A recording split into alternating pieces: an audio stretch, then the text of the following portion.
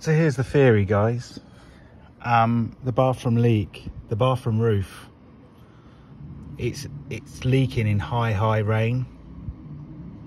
So if it's not leaking all the time, this is not concrete, but here's a thing. So you can see where I am. If you can't, that's where I am. I'm at the gate. This is the flashing. It's a flashing. It's a zinc detail. Um, and it's basically look you can see that's on the edge. I've got a digital so it's out by it's leaning in to the building by three degrees various degrees of measurement. Essentially i'm just going to put that down for a second. Essentially in high rain because it's flowing this way this will fill up with water and then i'm just before i kill myself on this fucking ladder if that fills up with water look at this here that is an indication that water has gone in there. This is all sealed along here. So water is coming in. It's not going under there because it, ironically, it is actually quite well sealed. But I think it's filling up so much and this is not sealed. And you can see here, this is fresh, this is green.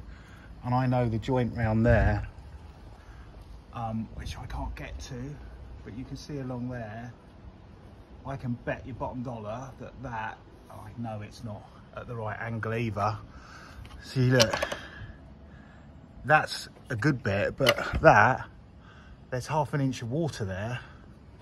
So I think what's happening is this is filling up with water. And look, down there, that's your problem.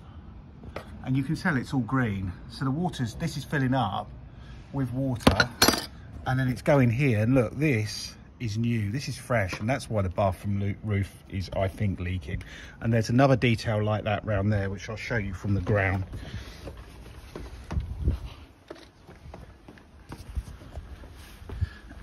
Fucking climbing around again.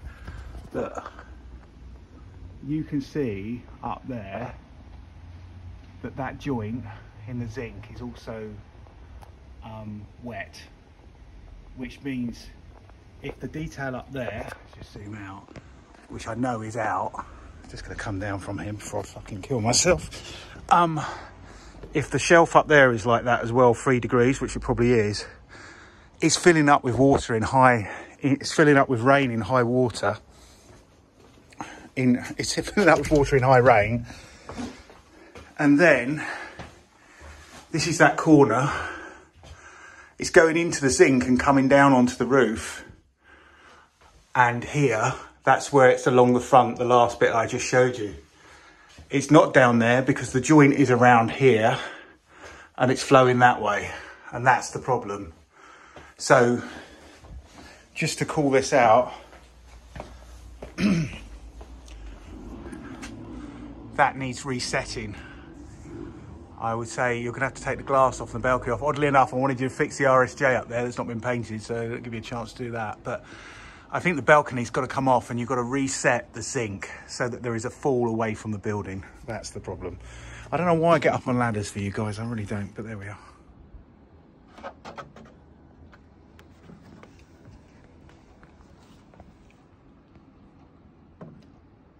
Just, if you, are you recording?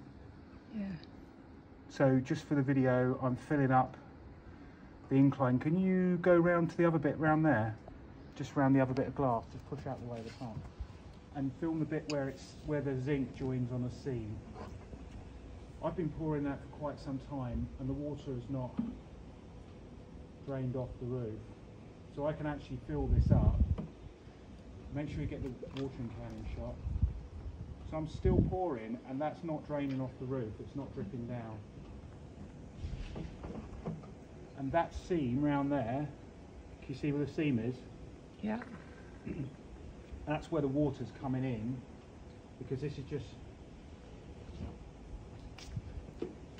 pull up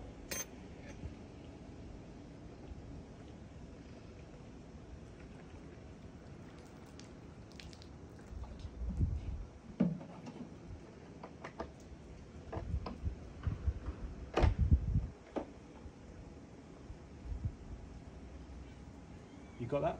Yeah. So the theory is because the zinc um, doesn't drain off the building. So just feel my hand now, Jules. So look, you can see I've got tons of water here. Because the zinc doesn't drain off the building, it, it the incline takes it towards the building. It's just basically a pond of around five to eight mil of water and then the width of the zinc, which is in the region of 200 mil. And that seam there, and when we filmed it on the front, there was green there, where the water is now going into the roof through that seam because it's not, uh, and all the way along to the edge, it's full of water and it's basically ponding. And that's why the leak is only sometimes, when this fills up enough, it goes in through the seam and that's it. Right, we can stop now.